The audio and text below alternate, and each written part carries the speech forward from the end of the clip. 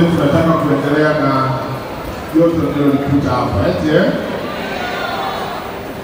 Uh, kwanza namshukuru Mungu kwamba jioni ya leo tumekutana hapa. Jioni Joni Lissu alikuja ofisini kwangu akanieleza juu ya concert hii. Alipokuja alisema anakusudia kuifanya Sinza. Nikamwambia nadhani concert hii ni kubwa kuliko Sinza, twende Diamond Jubilee. Akaniambia nguvu ndogo, mheshimiwa waziri. Nikamwambia tukusanye nguvu na itatosha, na washukuruni sana kwa kuja usiku wa leo. Kwa hiyo nampongeza Joni na timu yako kwa maandalizi mazuri, lakini leo asubuhi nilikuwa nasoma kwenye mtandao mahali, kasoma hadithi ya mzee mmoja alikuwa na miaka sabini na nane akaugua akapoteza fahamu, akalazwa hospitali kwa siku thelathini. Katika siku alizokuwa amelazwa alikuwa anawekewa oksijeni kwa sababu alikuwa hawezi kupumua. Alipoamka akaletewa bili ya oksijeni alikuwa anawekewa. Alipoisoma alikuwa inasoma dola kama laki tano hivi, akaanza kulia. Daktari akamwambia usilie, bima itakulipia. Akaendelea kulia. Daktari anamwambia unalilia nini? Mzee anaendelea kulia. Baadaye mzee akatulia, anamwambia daktari, silii kwa sababu ya bili, hii bili inaweza kulipa, lakini ninamfikiria Mungu. Kama kwa siku thelathini oksijeni mlioniwekea dola laki tano, miaka sabini na nane nitamlipa nini huyu Mungu?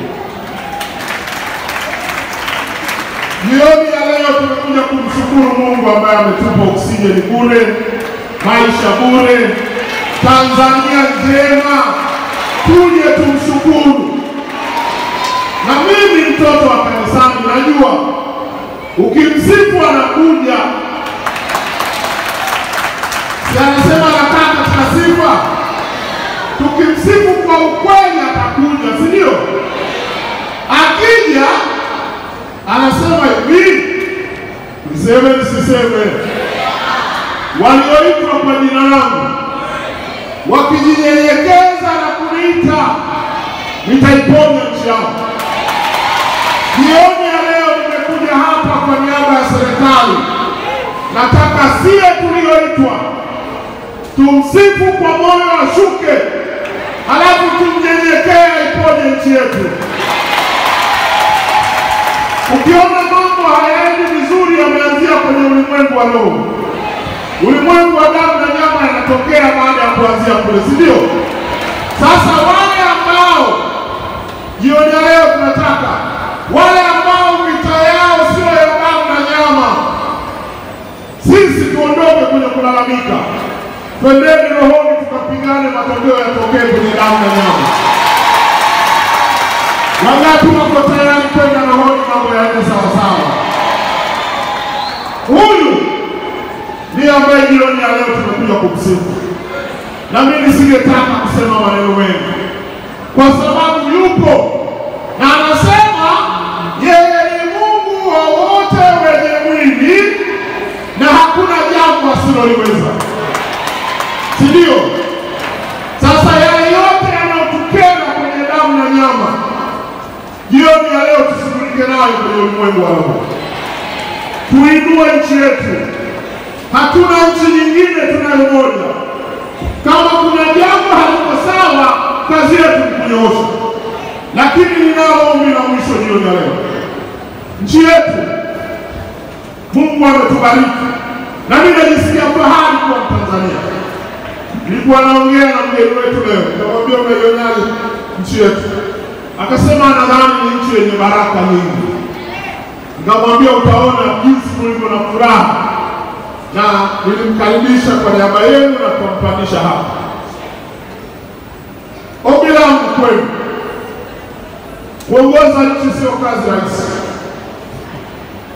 Tumepata rais wetu Mama Samia, alichukua nchi katika wakati mgumu kidogo, lakini anakwenda vizuri.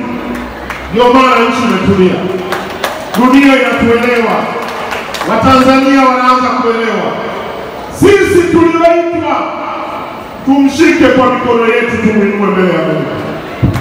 Yale yanayokwama kwama nayo yanyooke, yeye na wasaidizi wake waipeleke nchi yetu kwenye madhabahu ya Mungu na Mungu afanye muujiza kwa Tanzania. Hili ndilo milango kwenu jioni ya leo. Wangapi wananiunga mkono? Najua wako maaskofu, wako wachungaji, mtaomba kwa ajili ya hiyo, lakini wakati ukiimba na kumsifu Mungu, basi tuiweke nchi yetu mbele za Mungu, tumweke rais na wote wanaomsaidia mbele za Mwenyezi Mungu. Amani na utulivu viendelee kutawala hapa kwetu. Sawa jamani, eh?